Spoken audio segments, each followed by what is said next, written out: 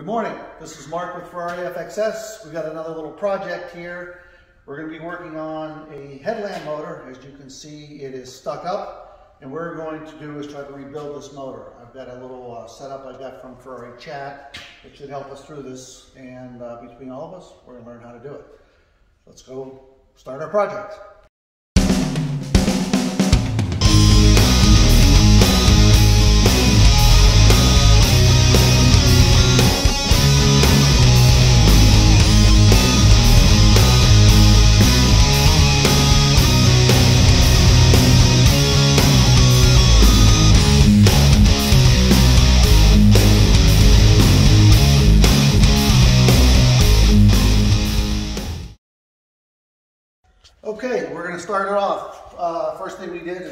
Car. I actually got a little uh, fitting in here. You probably can't see it, but it's actually one made for BMW that jacks the car very nicely and it fits right in the little slots for the Ferrari 355.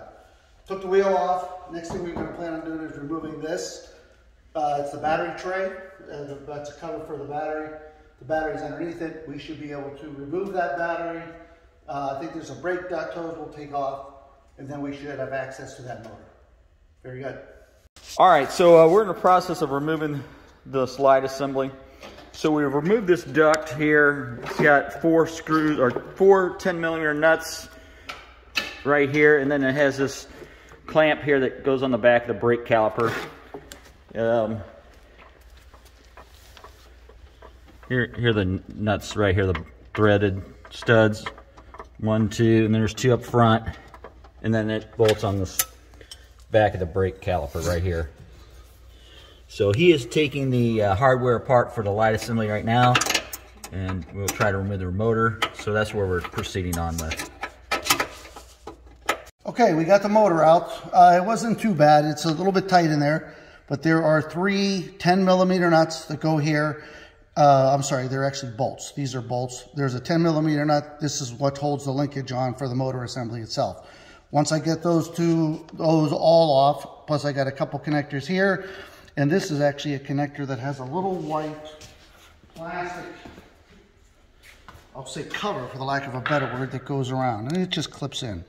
You can kind of see the idea. But that's it. So now we're gonna take this thing apart and try to rebuild it to see if it'll work again. What we understand is some of these contacts get all dirty in here, so we'll have to uh, clean those up.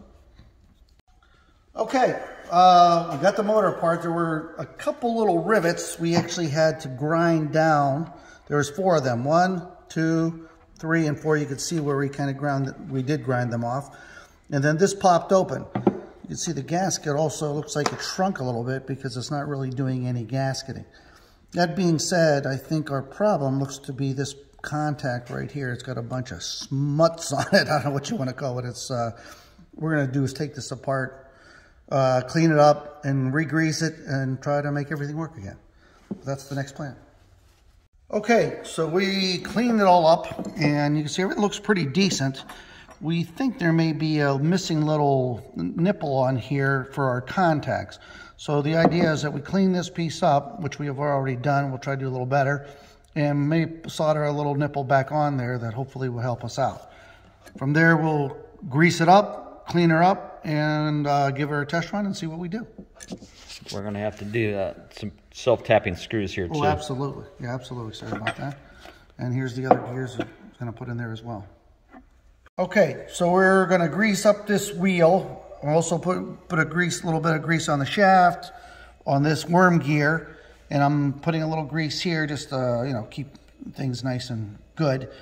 And then we're going to try putting this together. I think we're going to need some self-tapping screws, you know, to put this all back together. But um, I think the plan is just to grease this up just to keep things lubricated. And I'm just using an all-purpose grease here at this time, trying to not be too crazy with it, but also have enough in there. And then uh, we actually just soldered a little... Yes, go ahead, Jeff. Little uh, nipple, or whatever you want to call that, on the end of that sensor there, or pickup, whatever you want to call it see if that helps this. Um, if not, we can take it back off. It's just a piece of solder, but um, it seemed like it adhered to it pretty good. We cleaned it up. Make sure you got to clean the grease and everything off before you do that or it won't stick to it. So uh, we're gonna try all that, lube it, and throw it back together and see if she works. Right. Okay, so as we look at later, we put a little solder in there. Hopefully this works for us.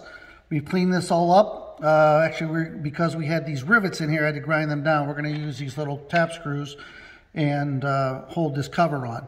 And I'll probably use a little Form-A-Gasket also on this area. Only thing left is I'm going to put a little dielectric on the top here so we can uh, hopefully have some good contacts. We'll do a test run and go from there.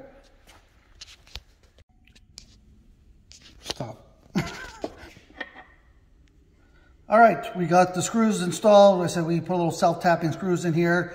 Uh, had a little Form-A-Gasket to put around the edge like we discussed before. Everything should be good to go. It's going to be our tryout and we'll keep you posted. All right, so we're doing a reinstalling this motor. So uh, he's going to point out a few things here. Um, yeah, this this linkage here is going to go, once this goes through this hole, this linkage is going to go on this shaft, and there are three holes that are 10 millimeter bolt heads on them that, that will attach this motor to this bracket. And this linkage then attaches to the lifting motor itself. Okay? And then we have, of course, these electrical connections here that we talked about earlier. Um, now we've got everything hooked up except for the arm because we're not for sure the position of the gear. So we've got our, all our wire harnesses hooked up temporarily right now. And then we're going to run the motor through so we know where the, the gear is at. Because like I said, we don't know where the gear position is and we don't want to hook up and then break something and be in the wrong position. So we're going to run it through and then uh, make sure the shaft turns. And then once the shaft turns and we know the position of the shaft and know the position of light, we'll hook up the arm to the uh, actuator. So we're going to go ahead and do that right now. All right, so we've got everything hooked up. We've hooked the shaft up, and then uh, we actually adjusted the light with the uh, the shaft position with the light assemblies up there. It's a little easier to get to the nut. Like I said, it's kind of hard to see that uh, actuator arm, but uh, it was easier, like I said, with the light position in the open. Here's the actuator arm right there, if you see that. Yeah. This is the nut it's a lot easier to work with that nut when the light is in the up position. So, so uh, anyway, I think we're uh, done with that. Um, I mean, if you need to make fine adjustments, there's some fine adjustments on the linkage, but uh, we're not uh, doing that today. Um, other than that, we're going to go ahead and reassemble all this. We're going to put this duct back in. It took like four screws or nuts, and then uh, put all this back in battery and everything else. So uh, we're to go ahead and do that right now. And uh, we'll catch you a little later. All right, so we've got the uh, cooling duct here for the brake rotor. Yeah, like I said, the two nuts on the top, two on the bottom. Don't forget to line up your duct in the front.